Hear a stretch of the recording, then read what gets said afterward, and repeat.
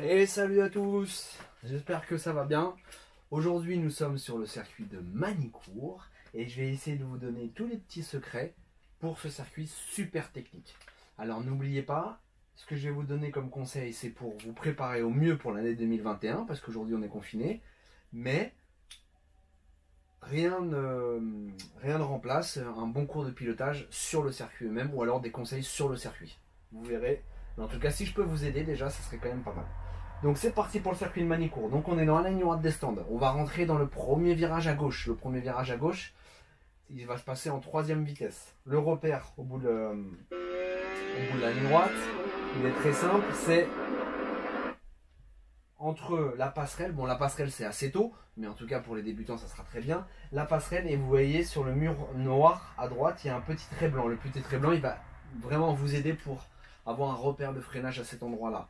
Et comme ça, vous allez pouvoir rentrer dans le virage. Quand vous rentrez dans le virage, le petit conseil que je peux vous donner dans celui-ci, c'est que c'est un virage qui est rapide, donc il faut bien se positionner, mais il faudrait être le plus près possible du vibreur, de la ligne blanche intérieure, parce que si mes souvenirs sont bons, euh, si vous rentrez un petit peu euh, à un mètre de, la ligne blanche, il y a beaucoup de boss. Alors que si vous êtes sur la, ligne blanche, il y, a il y a beaucoup moins de boss. Alors, je sais que le bitume a été euh, modifié, mais je sais qu'il y a encore beaucoup de boss dans ce, virage, euh, dans ce virage, donc il faudra voir.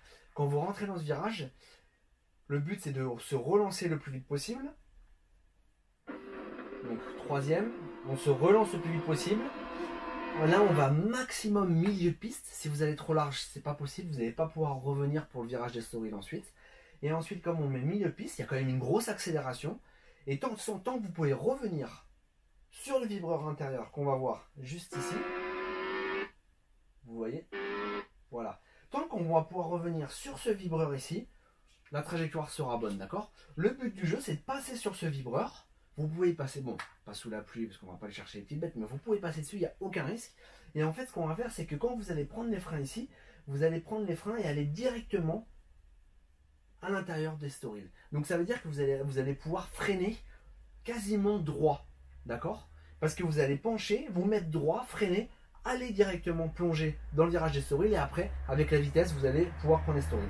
Et storiles, c'est le virage d'après. Donc toujours en 3. Par contre, ce qui est hyper intéressant, c'est que vous voyez que le virage descend et après il remonte. Donc il est très important d'arriver à remettre un filet de gaz assez tôt pour pouvoir garder la vitesse que vous allez obtenir en entrée de virage.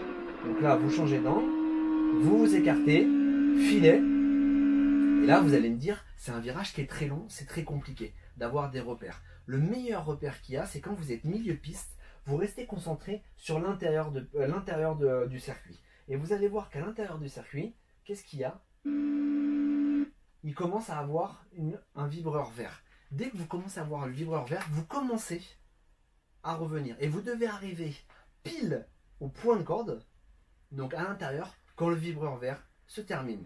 Et le vibreur... Le Hop, excusez-moi. Voilà, il est off. Et regardez, en plus il y a déjà le plot.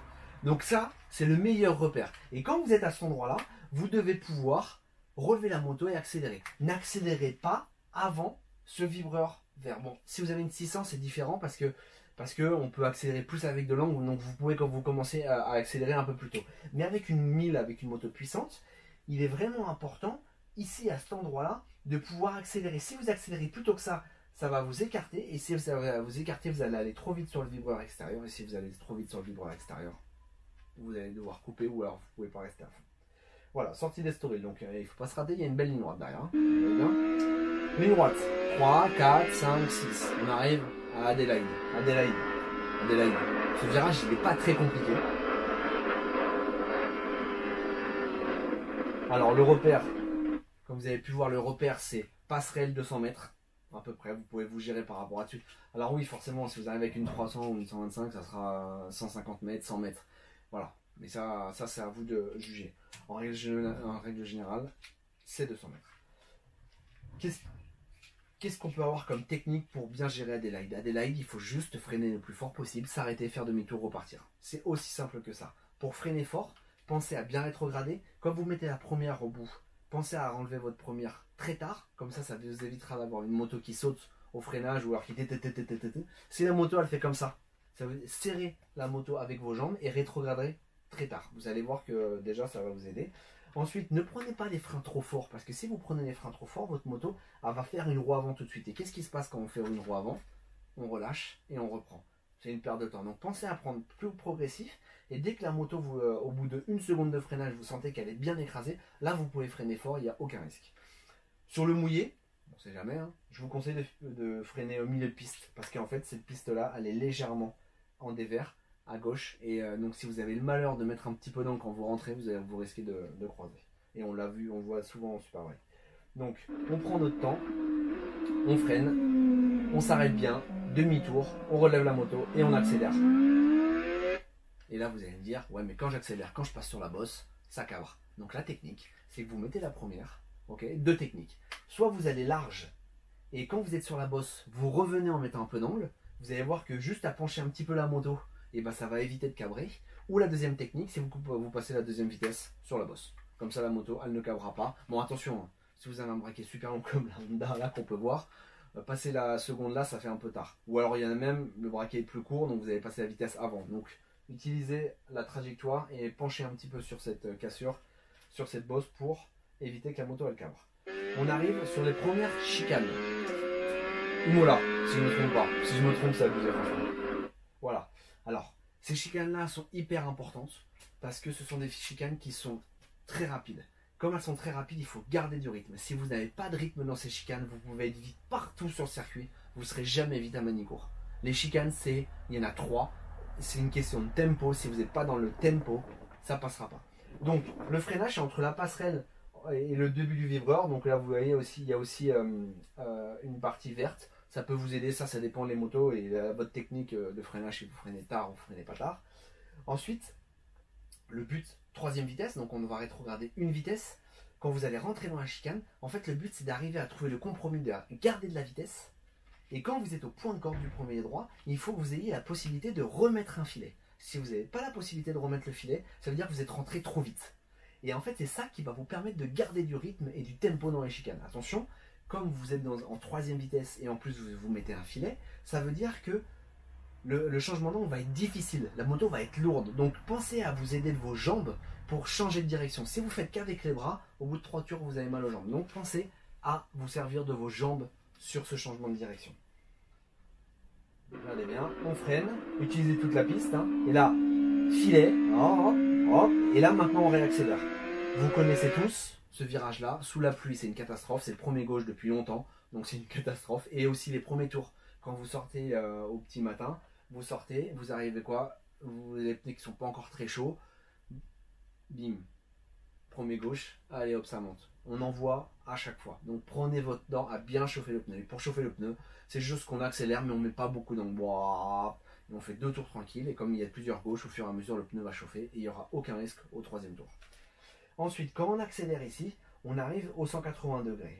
Une fois de plus, vous pouvez aller un petit peu large, mais il faut toujours se préparer pour avoir la bonne trajectoire au 180. Donc vous remarquerez que là, j'ai déjà préparé le dessin. On va regarder comment il passe, monsieur. Non, je vais vous montrer avant, ça va être mieux. Donc l'idée ici, c'est de rentrer. Si vous êtes large ici, vous avez deux techniques. Soit vous rentrez et vous vous mettez à 2-3 mètres. À 2-3 mètres maximum de la corde. Et vous faites tout le virage ici pour ensuite se positionner point de corde qui sera ici. Et ensuite, on va pouvoir accélérer et quasiment tirer une ligne droite entre le point de corde là et le virage à droite ici. Pourquoi c'est hyper important d'accélérer ici? Parce que là, il y a un virage et après ça monte et c'est une ligne droite. Donc pensez vraiment à vous préparer pour l'accélération. Pour, Ou alors, vous pouvez faire un autre truc, c'est rentrer plus tôt, on s'écarte un petit peu, et on revient. Donc on s'écartera toujours un peu plus que, euh, que, la trajectoire où on ouvre un petit peu, mais et après l'accélération c'est la même. Ce qui est hyper important, c'est qu'il ne faut pas aller ici. Là, j'en vois plein qui font tout ça, tout ça, tout large, tout large. Là, ici, là, quand vous êtes ici, déjà, ça fait peur parce que ici, bah, il y a la ligne, c'est l'extérieur de piste et ça sert à rien, c'est une perte de temps parce que vous allez trop large. Et ensuite, pourquoi j'insiste sur l'accélération? Parce que si ici vous accélérez trop tôt, vous allez ici, vous allez taper dans le vibreur ici, ou alors ici, hein, peu importe. Hein. Et le problème, c'est que quand vous êtes ici, pour pouvoir accélérer, vous allez devoir rendre tourner et accélérer. Alors que là, ça sera dans une phase d'accélération et vous aurez jamais, dans ce droite là, vous aurez jamais le moment où ça fait Ah, et on réaccélère. Ça sera qu'une phase d'accélération. Et d'ailleurs, on le voit très bien sur le virage. Il freine. Donc là, la trage, ça serait plutôt la trage noire. D'accord? On revient à la fin. Point de corde à la fin du vibreur. On réaccélère. Sauf que là, il va. Vous voyez, il passe à troisième vitesse, mais il ne peut pas accélérer parce qu'il a été trop tôt à droite. Voilà. Donc ça, c'est la chose la plus importante pour ce virage-là. Ensuite, on va arriver à la chicane de numbering, si je ne me trompe pas. La numbering, il y a quelque chose qui est très intéressant, c'est qu'on ne voit pas le premier point de corde parce que ça descend et ça remonte. Donc on ne voit pas en fait. Vous voyez bien là, on voit tout.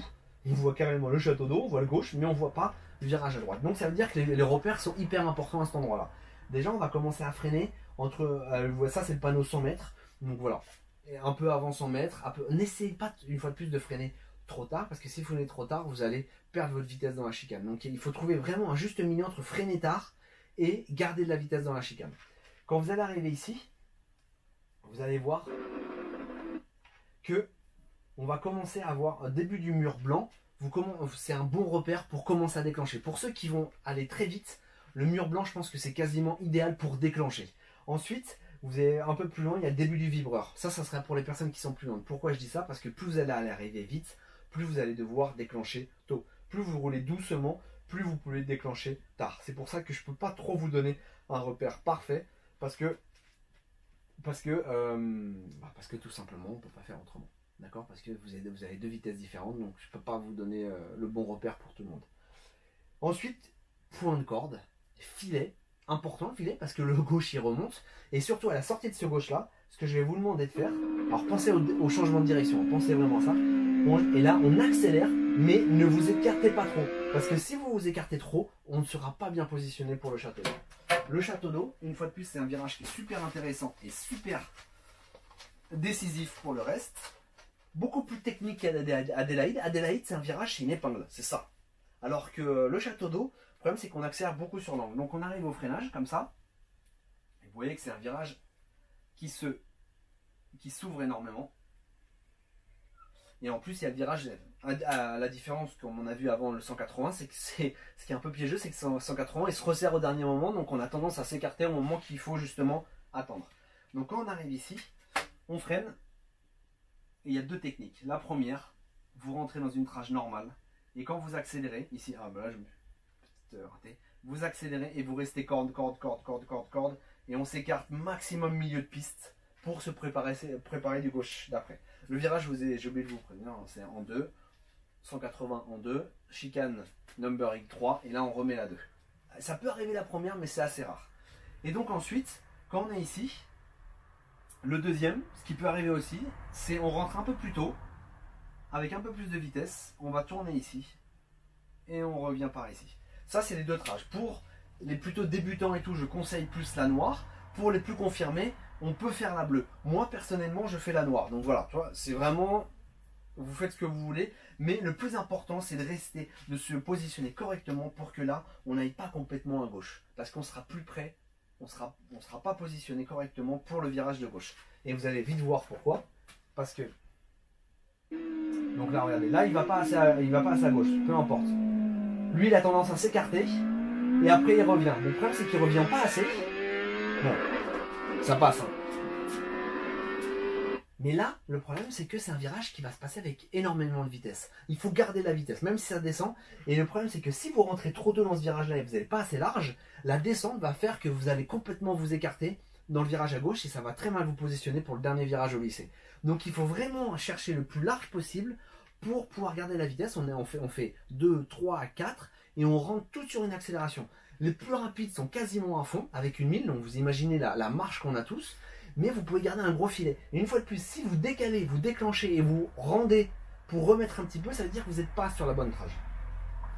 Donc voilà, là on là on freine ici, donc vous voyez, hein, ça fait, euh, je pense que c'est 150 mètres à peu près, ou alors 200 euh, mètres. Bon, en tout cas non, le 200 mètres c'est juste avant. On passe à, en accélération le 200 mètres et on freine après.